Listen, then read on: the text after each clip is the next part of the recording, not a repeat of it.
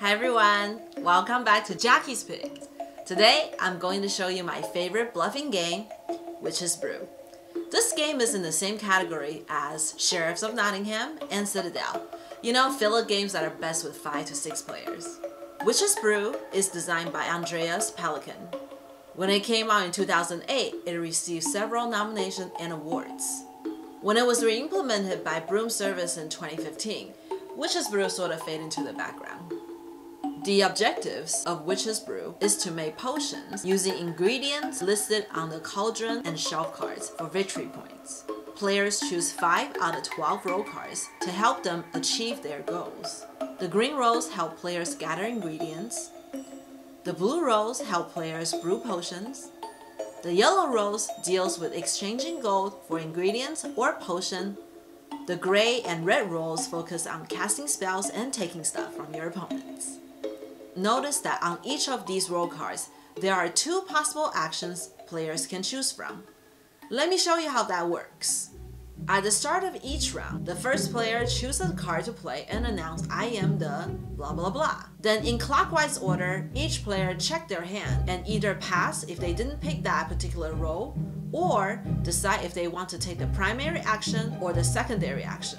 The primary action is always better than the secondary action, but only the last player who claims that action gets to execute the role at the end of the round.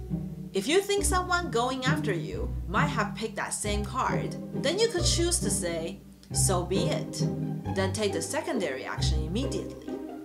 So, in a three player game, if the first player begins with Rattles, the Snake Hunter card, and the second player also pick Rattles, the Snake Hunter this round, the second player can claim that they are Rattles instead. At this point, the first player will get nothing if the third player has also picked Rattles the Snake Hunter, then the second player will also get nothing in this round. Only the third player will gain 3 Venom White resources.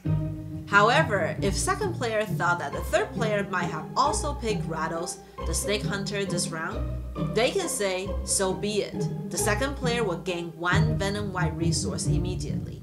At this point, first player is still Rattles the Snake Hunter if the third player didn't choose that card this round.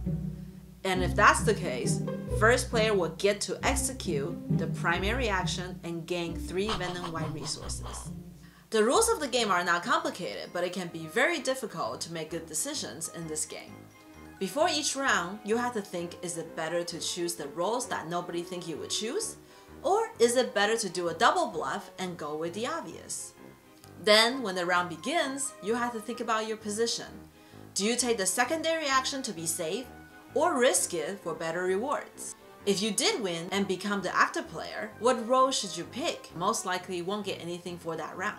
Or maybe you might choose to deliberately lose to someone just so you can have better position next round. The anticipation, the mind games, and the occasional total surprise moments are the best part of this game. We do have to mention that at this moment, the English version of Witch's Brew is out of print. Good thing that the cards in the base game are well designed and the iconography are easy to understand.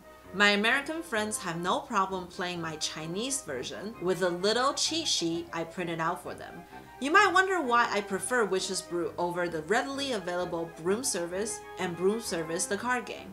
Both games are great, but unlike Witch's Brew, the starting player in these two titles no longer has to automatically choose the primary action. This modification alone makes a huge difference in how decisions must be made when choosing roles. Also, I'm not a fan of pickup and delivery, so having to do that in Broom Service takes the focus away from the core bluffing mechanics that I enjoy. Witch's Brew is all about mind games, and that's it. It's easy to learn, with very little downtime, and lots of player interaction. You're constantly double guessing yourself. But when things work out, it's super satisfying. Even if it doesn't, it's pretty hilarious anyway. So if you ever come across Witch's Brew, you must try it. Thank you so much for watching, and I'll see you next time.